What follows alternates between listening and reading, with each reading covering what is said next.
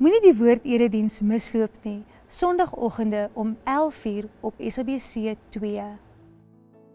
Om by te dra tot hierdie bediening, SMS die woord na 49724. Goeiedag en baie baie welkom vandag hierso by ons oordeenkings. Vandag gaan ons verder in Johannes 15 en uh Jesus kom leer ons iets baie spesiaals vandag. Johannes 15 vanaf vers 11, die tweede gedeelte tot vers 12. Die geheim daarvoor is dit: Ek wil hê dat julle mekaar moet lief hê, net soos ek julle liefhet. En hierdie liefde is nie net iets oppervlakkigs nie.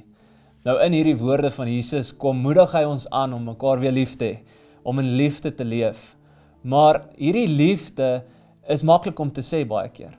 Ek dink is maklik om te sê ek het iemand lief of ek wil liefde bewys.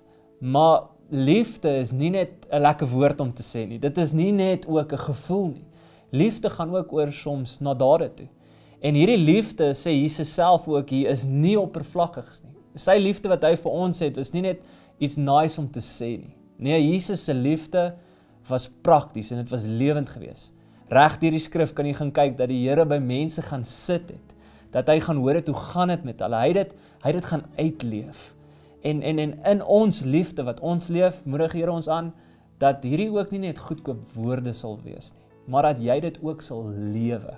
Dat jy dalk by die werk, by die huis, by die familie, um, waar ook al jy mag wees, dat jy hierdie sal leef en dat hierdie nie net goedkoop sal wees nie. Want die Here het dit vir ons so kom bewys in sy lewe dat hy dit selfs sy liefdesdaad het oorgegaan tot by die kruis. Mag jy dit ook so lewe. Kom ons bid hierdie nou saam. Here, so baie dankie dat uh U ons aanhou aanmoedig om mekaar lief te hê en om in liefde te leef. Maar Here mag hierdie nie net ook woorde wees wat ons sê nie. Here mag hierdie nie net leë beloftes wees nie, maar Here mag dit oorgaan na dade toe, na 'n leefstyl toe, Here waar ons net liefde lewe en mekaar lief hê en vir mekaar iets doen wat nie net woorde is nie. Here, dankie dat ons U kan ken. Dankie Here dat U ons aanmoedig. Dankie vir wie U is in ons lewens. Ons bid hierdie in die mooiste naam in die naam van Jesus. Amen. Baie baie dankie dat jy ingeskakel het. Lekker dag. Goed gaan.